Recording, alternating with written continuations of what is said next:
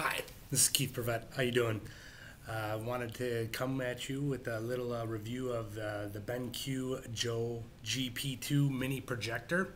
So I've entered a contest to uh, kind of review this product, and uh, I have to say uh, the first setting I'm going to give you is the business setting.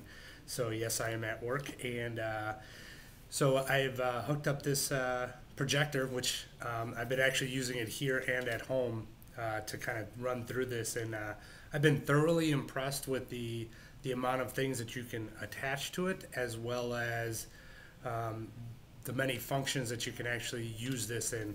And uh, to let you know a little secret, I think uh, by getting this and participating in the contest, uh, there might be a little outdoor inflatable screen that might be coming our way uh, this summertime by having this projector. So I was given the projector to uh, be entered into a contest, but uh, so uh, within this you can hook an iPad to it, iPhone, iTouch, um, DVD player, PC, Mac, and you can also do flash drives, SD cards, and it does have internal memory. So what I'm going to do is show you kind of here's the business setting uh, in a conference room. Um, I'm going to grab the camera.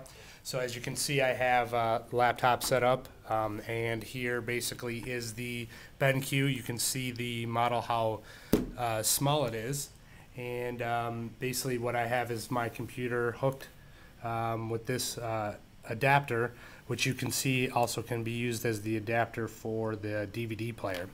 Um, you can see that the phone slot is right there, that you can plug the phone right into that, and I actually have used that at home.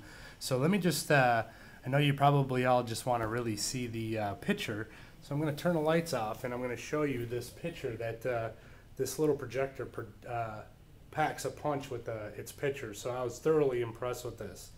So uh, here we go. So as you can see, and uh, sorry I don't have a screen in this room, it's a, a whiteboard, but as you can see, that picture is very clear. Um, and if the light was actually a little lower, uh, I was thoroughly impressed when I was doing some uh, HD movies at home, which I will do that in the second video, um, how clear this picture is. Like I said, this little uh, projector is uh, packing quite a punch um, in regard to picture. And as you can see, it'd be very easy to switch modems if I had to, to, as you can see, now I have all my different settings for what I want to do. So this is internal memory if I want to add something to it. I can change to iPhone, iPod, SD card, um, USB reader, flash drive. I can uh, hook into a USB streaming. Uh, you can do this through your uh, PC and or a, a phone. Um, and then you got your settings. So I easily switch between any amount of devices that have uh, video or, or uh, pictures on them. And uh, so one of the features that I liked is you can actually run through your pictures pretty quickly. So um, next video I'm going to show is uh, using it at home.